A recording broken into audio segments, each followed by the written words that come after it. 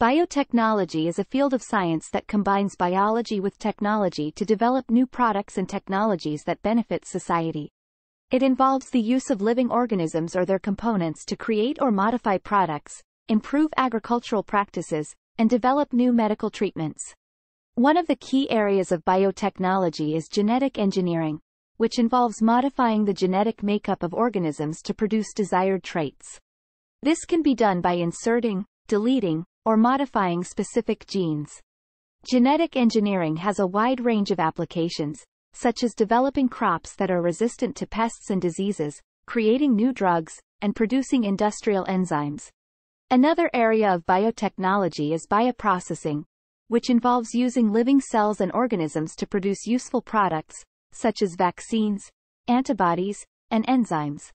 Bioprocessing techniques can also be used to produce biofuels, such as ethanol and biodiesel, from renewable sources. Medical biotechnology is another important area of the field, which involves using biotechnology to develop new treatments for diseases. This can involve developing new drugs or therapies that target specific genes or proteins involved in disease, or developing new diagnostic tools that can detect diseases at an early stage.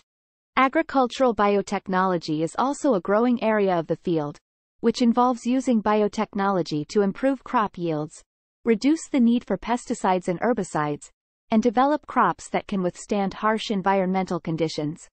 For example, genetic engineering can be used to create crops that are resistant to drought or that produce their own insecticides. One of the challenges associated with biotechnology is ensuring that it is used safely and ethically. Genetic engineering, in particular, raises concerns about the potential for unintended consequences and the possibility of creating genetically modified organisms that could harm the environment or human health. It is therefore important to regulate the use of biotechnology to ensure that it is used in a responsible and ethical manner. In summary, biotechnology is a field of science that involves using living organisms or their components to develop new products and technologies that benefit society. It has a wide range of applications in agriculture, medicine, and industry, and has the potential to revolutionize many fields. However, it is important to ensure that biotechnology is used safely and responsibly to avoid unintended consequences.